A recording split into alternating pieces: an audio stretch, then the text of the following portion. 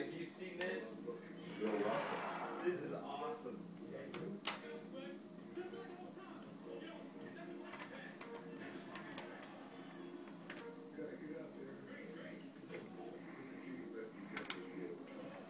Those are NBA players. Well, those guys are the real guys.